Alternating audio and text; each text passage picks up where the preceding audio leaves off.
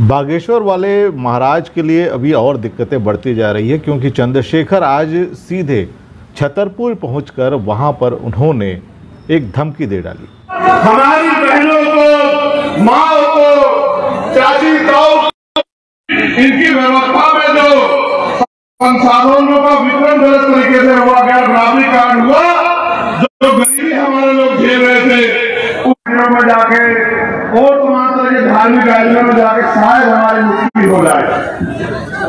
अपनी गरीबी को खत्म करने के लिए, अपनी बेरोजगारी को खत्म करने के लिए, अपने परिवार में जो बीमारी आ गई है, उस बीमारी को खत्म करने के लिए वो इस बाबा के पास जाते हैं। और ये बाबा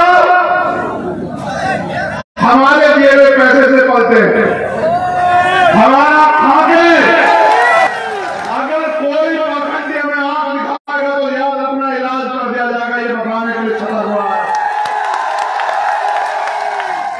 धमकी ये कि अगर हमारी सरकार आई तो तुम्हारी संपत्ति की जाँच होगी। हम हम इनके यहाँ पैसे देते हैं।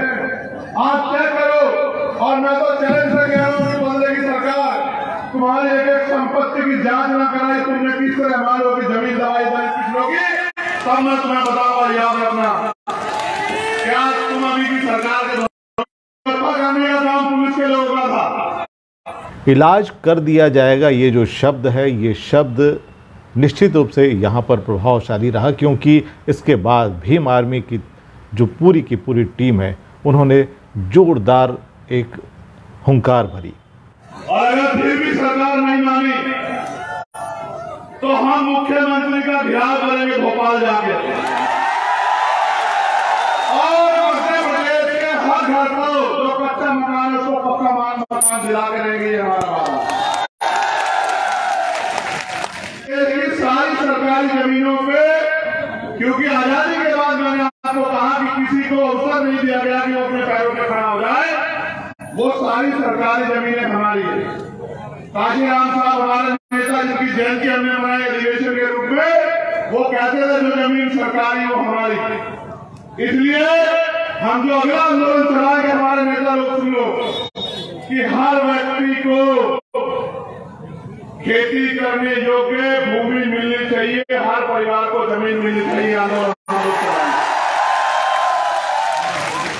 मेरा अंतिम लक्ष्य इस देश के बहुजन समाज को उसके उसको अपने पैरों पर खड़ा कर, करना है। वो जो हाथ फैलाता है हर चीज़ के लिए बिटिया की शादी करनी हो उधार लेगा। अपने बच्चे को पढ़ाना हो उधार लेगा लोन लेगा।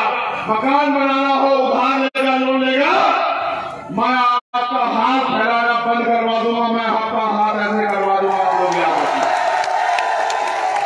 आगे बढ़ो ये आंदोलन दूसरा आंदोलन है। हमारा तीसरा आंदोलन चलेगा उसके बाद। हर परिवार को एक रोज़गार मिलना चाहिए। हमारा आंदोलन इसको मध्य प्रदेश में चलेगा दूसरे आंदोलन के बाद।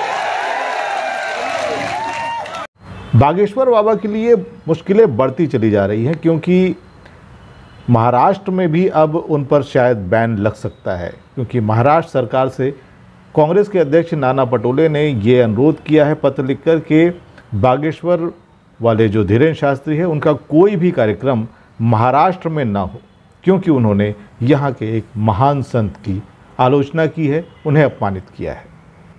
अब देखना यह है कि आने वाले समय में मध्य प्रदेश में चंद्रशेखर का कद किस तरह से बढ़ेगा, क्योंकि हाल ही में दिल्ली में जिस तरह से उन्होंने अपना रंग दिखाया और भीड़ जुटाई, उसके बाद लगातार जहाँ जहाँ वो जा रहे हैं लोगों का हुजूम, खासतौर से युवाओं का हुजूम बहुत बड़ी संख्या में उनसे जुड़ता चला जा रहा है और निश्चित रूप से मध्य प्रदेश में एक बड़ी जो ताकत है, वो भीम आर्मी के साथ में जुड़ती चली जा रही है।